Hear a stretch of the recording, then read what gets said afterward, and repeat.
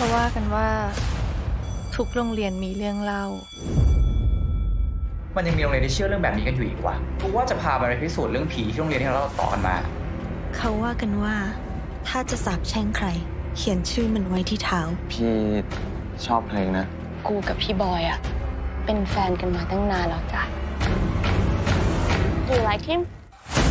เป็นยาผีบอกใช่ปะก็แค่บอกฉัน ว่าทำยังไงถึงสวย แค่เรียนมาหนังสือมา ตายจริงเหรอวะ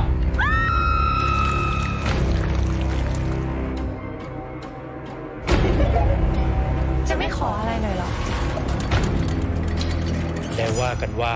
มีความลับบางอย่างซ่อนอยู่ในน้ำซุปของร้านนั้นหัวคุยอะวันอะตอนเนี้ยตำรวจยังหาไม่เจอเลย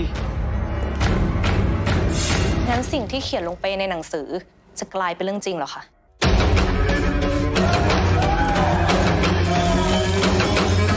มึงเป็นแม่ครัวหรือแม่มดวะเนี่ย